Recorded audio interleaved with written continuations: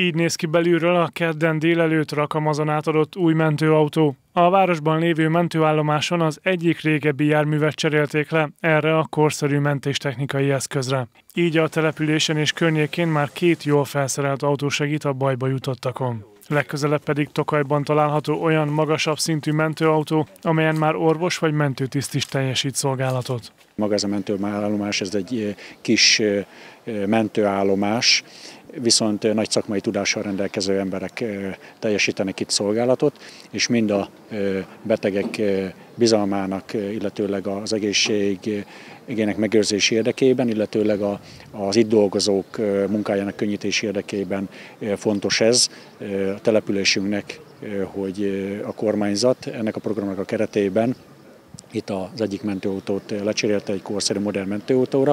Az átadó ünnepségen elhangzott, az új autó felszereltségének köszönhetően a menet közbeni sürgősségi betegellátás biztonságát is növeli, ez pedig jelentősen emeli a térség sürgősségi betegellátásának színvonalát. Évről évre megújul az a gépjárműállomány, illetve mentőállomás állomány, amely a megyében található. Ez mindenféleképpen azt jelenti, hogy javul az életminőség, és azt is jelenti egyúttal, hogy valakinek e, szüksége van valamilyen segítségre, akkor sokkal nagyobb eséllyel kaphat segítséget. Nyilvánvalóan alapvetően a szakembereknek a munkáján múlnak ezek a, beavatkozások, tehát az is nagyon fontos, hogy időben oda lehessen érkezni, és olyan felszereléssel, ami a 21. században elvárható a, a mentőszolgáltó, vagy elvárható egyáltalán az államtól, hogy ezeket a eh, magas színvonalon eh, biztosítsa.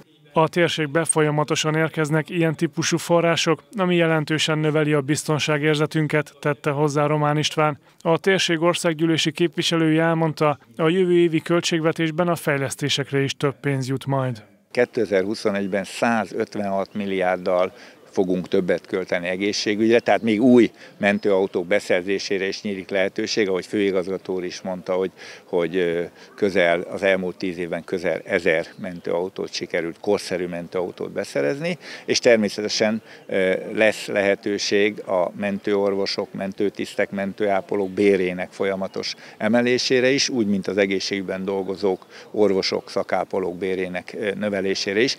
Az ünnepségen elhangzott, a megyébe már több új mentőautó is érkezett, de ez a fajta fejlesztés a közeljövőben tovább folytatódhat. Az elmúlt időszakban mintegy 151 mentőautót vásároltunk, ez a tavalyi beszerzésünk. Idén még 103 autó beszerzésre nyílik lehetőségünk. A tavalyi több mint 4,5 milliárd forint értékű, az idei több mint 3 milliárd forint értékű beszerzés, ez mind kormányzati forrásból valósul meg. Ez azt jelenti, hogy az elmúlt 10 évben majd 1000 mentőautó került a flottánkban, és ezzel 5 év alatt sikerült csökkenteni az autók számát. Most itt Rakamazon adtunk át mentőautót, de a mai napon még Záhonyban is mentőautót adunk át, és hát az elmúlt napokban Nyíregyházán két mentőegységet tudtunk avatni és hadrendbe állítani folyamatos a fejlesztés a mentőszolgálatnál. Tavalyi évben zártuk le azt az eszközbeszerzési tenderünket, ami több mint 3 milliárd forint értékben megújította azt az eszközparkunkat, ami az autókban van. Tehát nem csak az autókat, hanem a beltartalmukat is igyekszünk fejleszteni folyamatosan.